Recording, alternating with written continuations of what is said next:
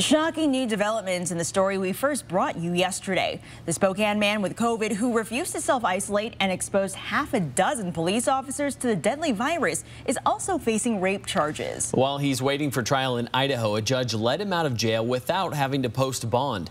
Maher Kawash has uncovered even more information. He joins us now live at the Spokane pasta plant where this guy also worked. Mayor. Yeah, Aaron, you said it there. Mordecai Cochran works at this Philadelphia macaroni pasta factory here in Hillyard, where about half of the 70 employees have tested positive for COVID 19. Now, Mordecai Cochran has caused some problems for Spokane police, and that's why the county is forcing him to self isolate at home until Friday. If he doesn't, he'll be arrested for the third time since just last Wednesday. Mordecai Cochran is supposed to be in quarantine until Friday, along with many of his co-workers from this pasta company. Police say instead of being quarantined, he was out drinking and driving and exposed six Spokane police officers to the virus while getting arrested twice in just five days. He was pretty intoxicated. He'd been passed out behind the wheel of a car for hours. That was the first time on May 20th. Officers didn't even know Cochran had COVID 19 until after he was booked. County officials say he passed the jail's COVID 19 screening because he's asymptomatic. He was booked into jail and released within 12 hours.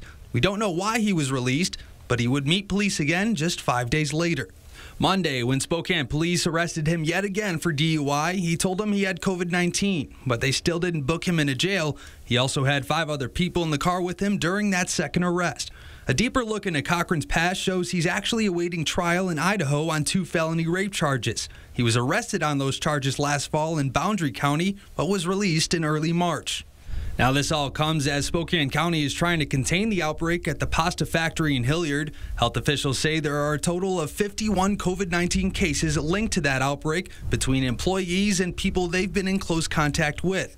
Spokane's top health officer says the factory did everything it could to contain the virus, but one employee we spoke to doesn't like the way it was handled.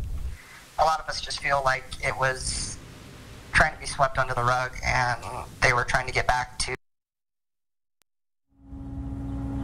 So you may be wondering where Mordecai Cochran is now. Well, again, he should be at home self-isolating. We've checked with the Spokane County Jail and the Bonner County Jail in Idaho, and he's not there.